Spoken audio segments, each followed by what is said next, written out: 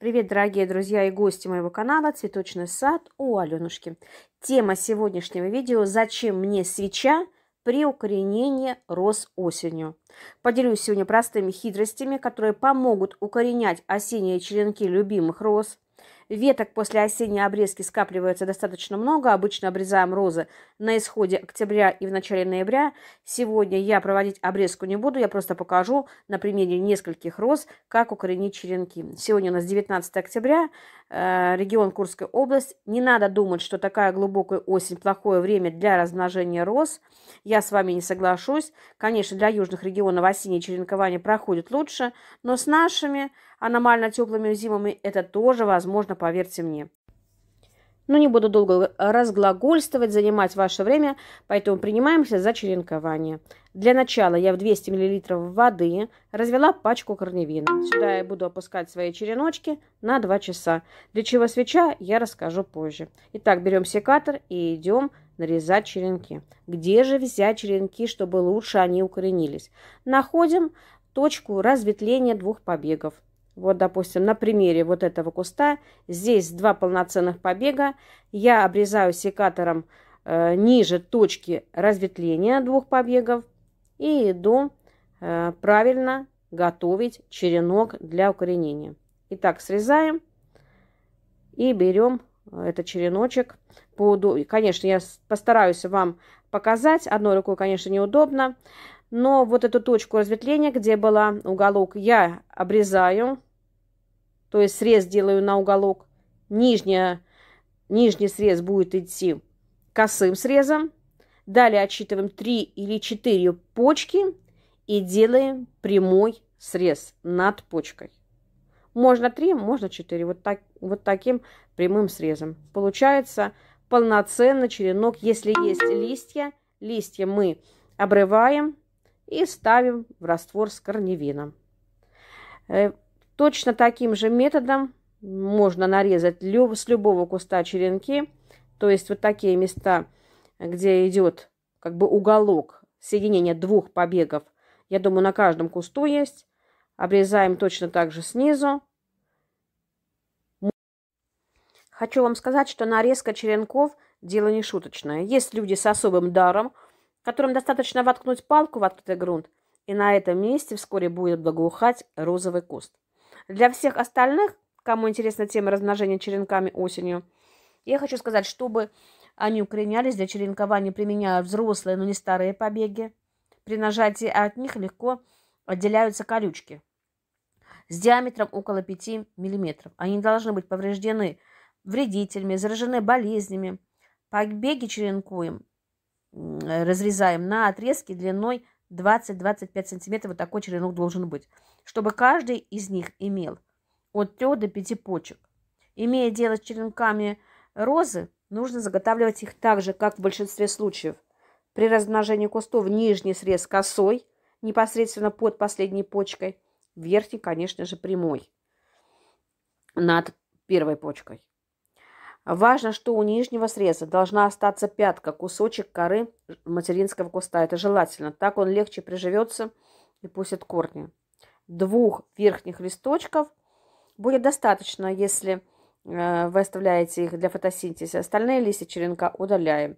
Но у нас осень, листья уже опадают, и ничего страшного, если черенок будет вообще без листочков. Перед высадкой в грунт рекомендуется выдерживать черенки в растворе корневина. Можно также применить марганцовка. Можно изначально, допустим, марганцовка, а потом стимулятор роста но я сразу опускаю в корневин стимулирующий э, препарат для корешков, чтобы облегчить и ускорить процесс адаптации в почве. Стоять они будут 2 часа, и далее покажу, что я буду делать после того, как они у меня будут готовы уже пойти в грунт.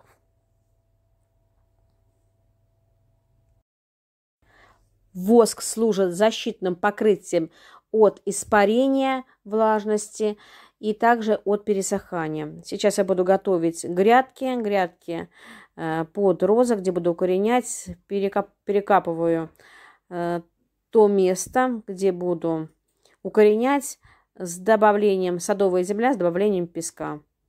Грунт э, здесь хороший, плодородный, поэтому ничего добавлять сюда не буду. Не торф, просто обычную садовую земля. В прошлом году я укореняла летом, и у меня они очень хорошо укоренились.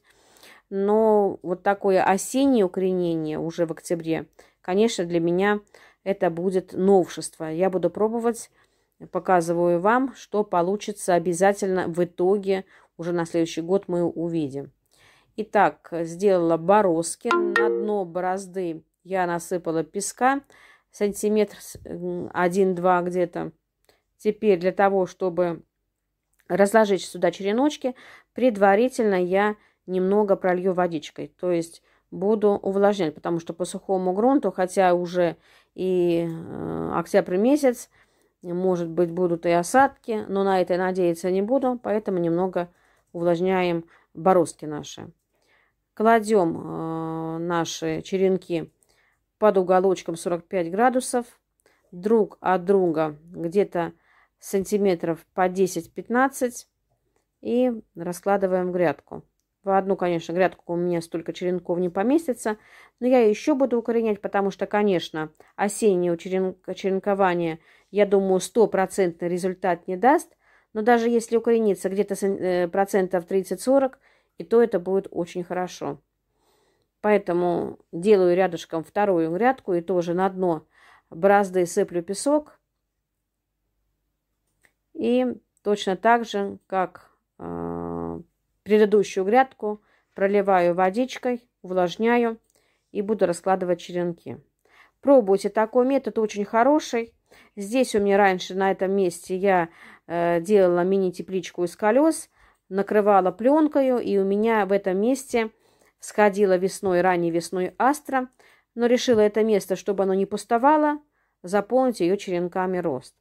Колеса у меня также остались боковушки вкопаны, то есть э, есть э, где облокотить какое-то укрытие. Но об укрытии мы поговорим попозже.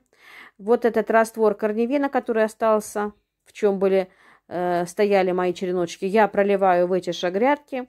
Это даст тоже положительный свой результат, думаю. И теперь присыпаю череночки этим же грунтом, это же землей садовой вместе с песочком. Я думаю, что э, если бы мы э, делали вот такое укоренение под бутылки, кто-то делает это под бутылки, под, под баклажки, то, конечно, каждую бутылку поставить. Все же вот такой метод более в бороздке, он более удобный. Потому что можно накрыть сразу ящиком, Э, это займет меньше каких-то либо трудностей и, мест, и меньше места. Все будет в одной как бы мини-тепличке, которая будет и весной, когда они укоренятся, мне будет удобнее постепенно снимать укрытие, которое будет на этих черенках, потому что я буду укрывать и лапником хвойников, но сейчас, пока в данный момент, после того, как я произвела вот такую манипуляцию по курению, я укрывать сейчас не буду. Как только будут ожидаться э, первые такие заморозки, то, конечно, буду делать укрытие, но обязательно покажу, когда буду укрывать. Потому что я буду готовить одно и то же укрытие для гортензий своих молодых, которые высаживала в этом году в открытый грунт, и также для черенков роз. В данный момент, пока временно прикрою я просто ящиком, но надо будет привести лапник. Буду сверху укрывать лапником, потом ящиком и потом э, укрывным материалом э, в два слоя. Но это покажу уже, когда будет полноценное укрытие. Обязательно вам сниму видео. Ну вот и все, друзья. Понравилось видео, ставьте пальчик вверх, подписывайтесь на мой канал, чтобы не пропустить дальнейшие мои видео. Кликайте под видео на колокольчик. Вам здоровья, удачи и до новых встреч, до новых интересных видео.